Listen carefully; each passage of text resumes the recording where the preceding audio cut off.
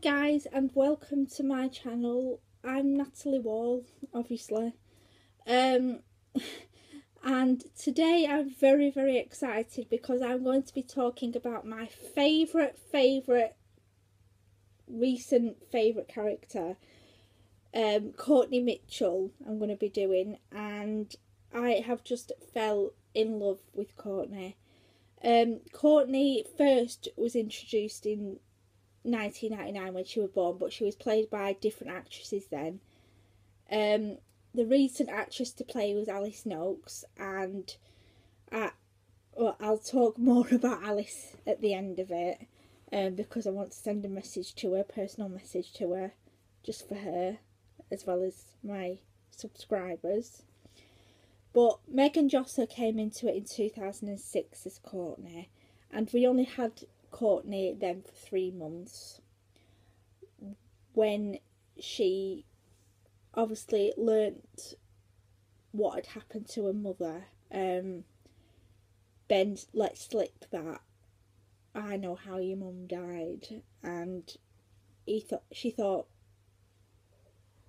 you know, her dad had killed her, killed her, and turns out obviously she got run over because we know that. I remember the day I watched that, and I remember looking at baby Courtney then thinking, what is she going to be like when she's older, that baby?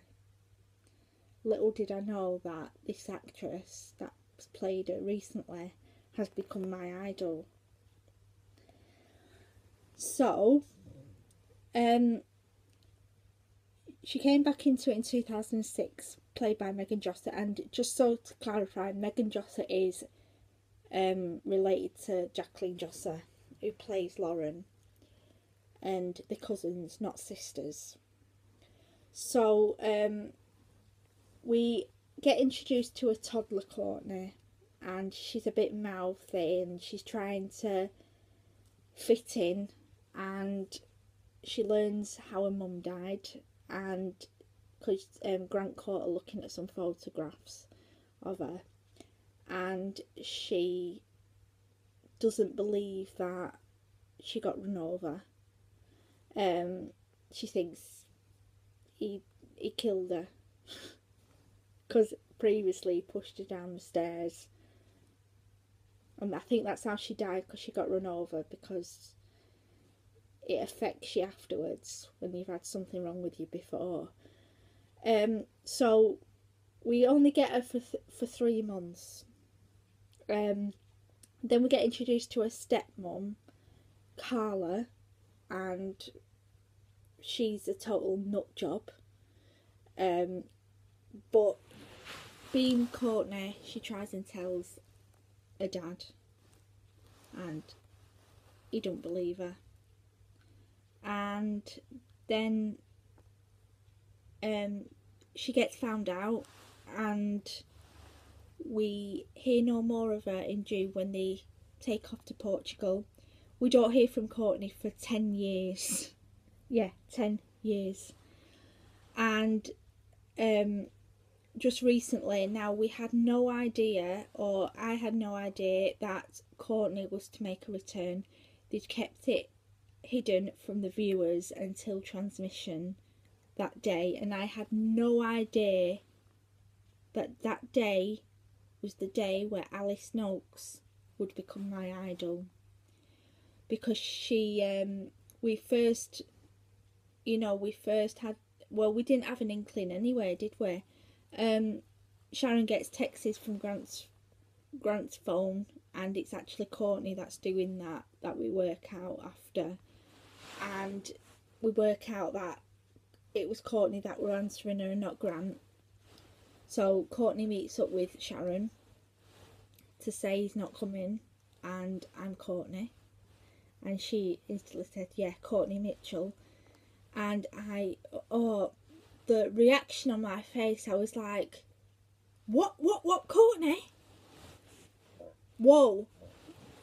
Because I had no idea and I could not believe how beautiful this young actress who came into that calf or before we we saw a scene of her before because I didn't know it were her then but that scene where she came into calf, I could not believe how beautiful this girl, this actress was. I could not believe how beautiful and talented she was. And I hope Alice Noakes watches this because I really, really wanted to see how much she she makes my life better. I look at pictures of her when I feel down, unwell, upset. Every time I see a picture of her, I go, it really, really cheers me up. And that's why I've asked, asked my mum at Christmas to get me merchandise of her. Because there's things you can do you don't have to buy from or anything. Because when I look at her, she calms me down and makes me feel better. And she's a talented actress and she is so appreciative of her fans. She really is very, very, very appreciated. And I can't believe that every time I do an edit, she gets back to me without fail. There might be just one or two where she can't because she's not been on it that day, but I'm not bothered. It's the fact when she does get back to me, she gets back to me. And I got a DM from her as well, and oh god, I, you should have seen my face. Seriously, it said, Hi Natalie, and then a little message to me. And I remember the date of that it was the 22nd of November 2016 so it weren't so long ago. And she followed me on the 9th of October 2016 so since then we've been communicating online as well on Twitter. And she is so so lovely. And there's more edits to come by the way Alice. I've not finished with you with editing pictures of you um, so, and I've got a fan page on Instagram.